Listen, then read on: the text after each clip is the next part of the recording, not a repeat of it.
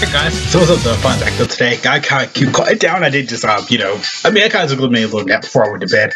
Um, but yeah, kind of just many little woke up stuff. I'm a lot of stuff like that, sorry. Um, we got some kind of new news to go over. So for Dragon Ball Legends, um, they are getting Dragon Ball Z Kakarot Goku. Um, kind of weird because I was probably start playing that game a few days ago, and I was like, because I was, I was playing Spider-Man PS4, I was like, hey, Dragon Ball Z Kakarot. Um, I might play a little bit of that.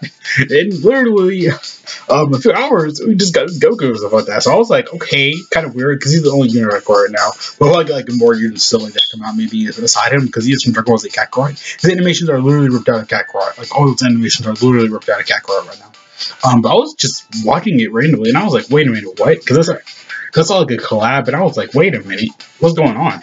Because um, because like Kakarot was like collab or something like that in the game, but I was like, holy crap! So yeah, he is coming. Um, the Dragon Ball oh, he's coming Legends. It's kind of weird because we already knew 21 came. He's just like taking the very first crossover character.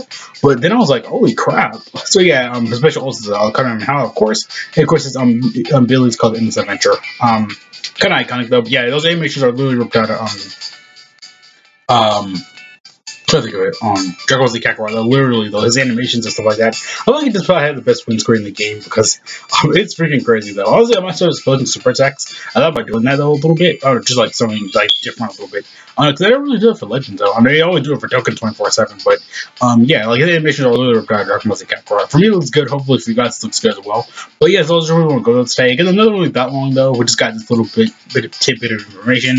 But um, yeah, like those animation looks nice. It looks good though. But um, of course all I really want to go to today. Um, good kind of video here though. But yeah, um, what do you guys think? It's freaking insane right now. So yeah, see you guys later though. Thank you so much for watching. Have a great day, great life, all cool junk. Um, yeah, um, freaking Ball Z Kakarot Goku's coming to the game. I didn't expect this. No, do you Piccolo or Krillin or Raditz? Uh, so, so yeah, see you guys later though. Again.